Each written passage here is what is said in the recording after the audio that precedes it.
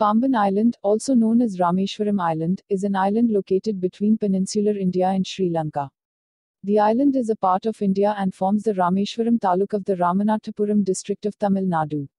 It is the largest island in Tamil Nadu by area. The principal town in the island is the pilgrimage center of Rameshwaram.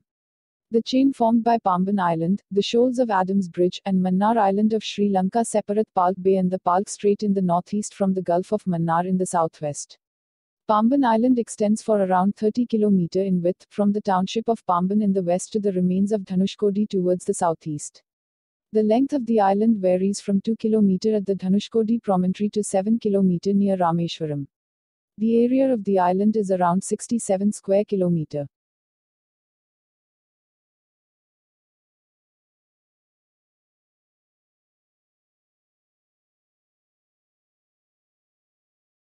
Dhanushkodi lies at the eastern tip of the Pamban Island.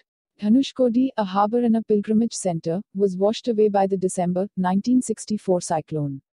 Prior to its destruction, it was a flourishing township and a prominent place of pilgrimage. In its heyday, it rivaled Rameshwaram in size and population. However, the December 1964 cyclone destroyed the town in its entirety, claiming over 2,000 lives and crippling power supply and communications.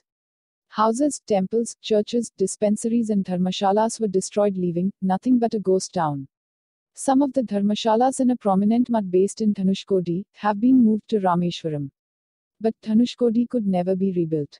Dhanushkodi was well connected by rail and road with Pamban and the mainland until the cyclone struck. The ruins of the station and the railway track have been left untouched, thereby making the ghost town a popular tourist destination.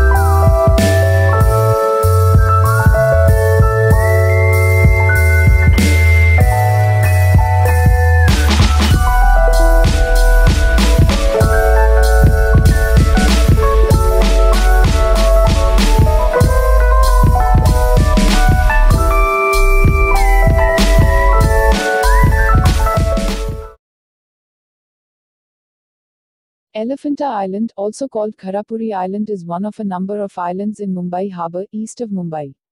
The island is easily accessible by ferry from Mumbai, being about 10 kilometers from the southeast coast of the island city. Boats leave daily from the Gateway of India, taking about an hour each way. The tickets for these can be bought at the gateway itself. Known in ancient times as Gharapuri, the name Elephanta Island was given by 16th century Portuguese explorers after seeing a monolithic basalt sculpture of an elephant found near the entrance. They decided to take it home, but ended up dropping it into the sea because their chains were not strong enough. Later, this sculpture was moved to the Victoria Gardens and then to the Albert Museum. The island is thickly wooded with palm, mango, and tamarind trees. The island has a population of about 1,200. The inhabitants are mainly involved in growing rice, fishing, and repairing boats. There are two British era cannons at the top.